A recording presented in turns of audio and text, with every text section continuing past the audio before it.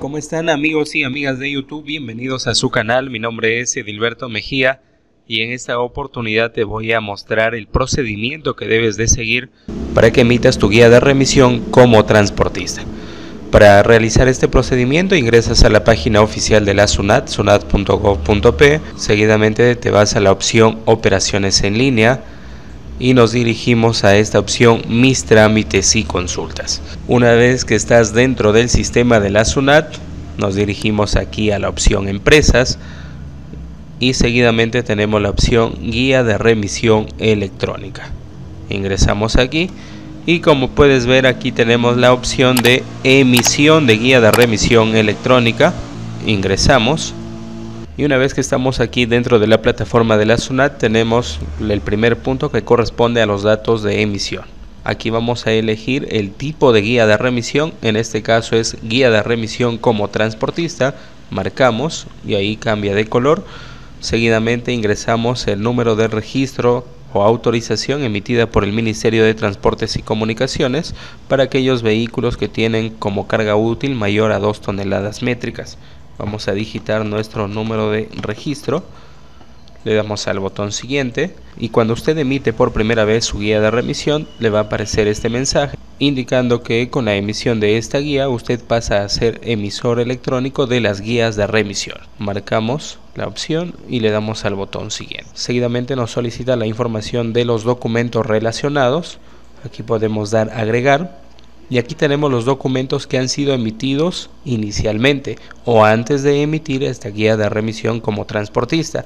Tenemos el tema de la factura, boleta de venta, guía de remisión remitente y otro tipo de documentos. Si usted aún no ha emitido estos documentos y está emitiendo en primer lugar la guía de remisión como transportista, entonces lo puede dejar en blanco. Ahí cerramos y le damos al botón siguiente. ¿Desea continuar? Sí. Y aquí tenemos los actores. ¿Quiénes son los actores? Tenemos el remitente y el destinatario. Es decir, quién remite los productos y quién recibe esos productos. Usted como transportista simplemente va a ser la persona que realiza el traslado. Por lo tanto, aquí en remitente vamos a agregar los datos que corresponden. Tenemos en el botón agregar, vamos a ingresar el número de RUC del remitente hacemos un clic fuera y automáticamente se llenan los datos del remitente. Le damos al botón agregar y seguidamente agregamos los datos del destinatario. Aquí nos pregunta, ¿el destinatario es el mismo que el remitente? Si marcamos sí, significa que este remitente está en otro lugar realizando la compra de sus productos y a usted como transportista le está solicitando para realizar el servicio. Por lo tanto, desde el punto de origen, que en este caso es el mismo remitente, se trasladarán los productos hasta los almacenes que en este caso corresponden al mismo remitente. Entonces en ese caso marcamos el destinatario es el mismo que el remitente, marcamos sí. Pero también ocurre el caso que el remitente y el destinatario son diferentes. Por ejemplo, el remitente puede ser la empresa A y el destinatario es una empresa B. Entonces en ese caso marcamos que el destinatario es diferente al remitente. Marcamos no y tenemos que agregar los datos del destinatario. Damos al botón agregar, ingresamos el número de documento de identidad del destinatario, hacemos un clic fuera y automáticamente se llena la denominación o razón social correspondiente. Le damos al botón agregar y con esto ya tenemos los actores la persona que realiza el envío y la persona que recibe ese envío. Seguidamente damos al botón para poder continuar y en este apartado vamos a agregar el detalle de los bienes que se realizará el servicio de transporte. Aquí desde este botón agregamos nos pide varios datos como el código, el tipo de subpartida nacional, pero los datos importantes que debemos llenar y los cuales son obligatorios es este apartado que dice descripción detallada del bien. Vamos a ingresar aquí el detalle.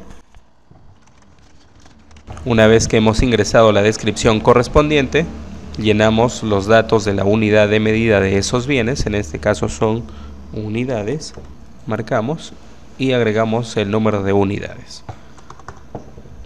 Damos al botón agregar, Si es que existen más productos que son diferentes, volvemos a realizar el mismo procedimiento desde el botón agregar. Y aquí nos va a aparecer la lista de todos los productos que estamos realizando el traslado, los cuales tienen que haber sido ingresados de forma detallada. Finalmente llenamos los datos del peso bruto de todos los productos o del total de la carga que se va a realizar el traslado. En este caso marcamos toneladas y escribimos el importe total. Damos al botón siguiente.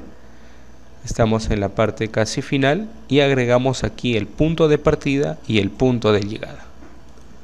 Agregamos.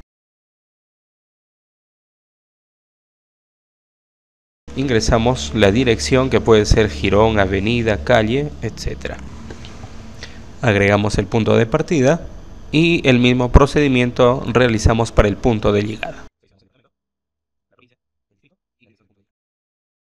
Damos al botón agregar y con esto ya tenemos el punto de partida y el punto de llegada.